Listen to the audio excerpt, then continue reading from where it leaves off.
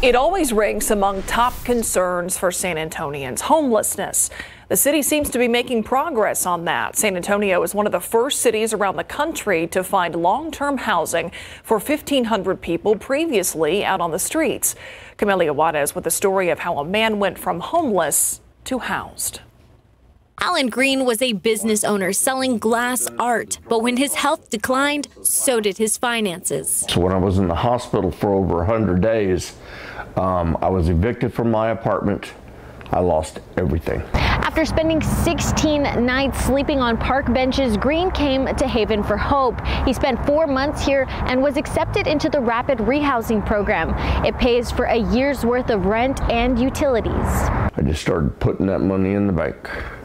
Because when I walked into Haven, all I had were pennies in my pocket. Billy Mahone from South Alamo Regional Alliance for the Homeless says rapid rehousing is a temporary wraparound assistance to help people become sustainable. Mahone says rent rising by 14% from last year is one of many reasons why these programs are in growing need. A lot more people have been ex- experiencing housing insecurity than in years past uh, due to rising rent prices, property taxes, just inflation costs in general, and even you know the wage growth not keeping up pace with those costs.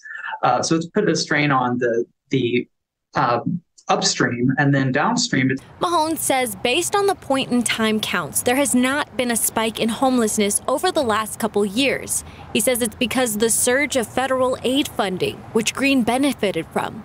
Green says he looks forward to seeing Social Security checks increase by 8% in January. And when you've been through what I've been through, to say you're fine, I'm blessed. Green continues to see his rent reduced through a voucher from Opportunity Home. Camelia Juarez, KSAT 12 News.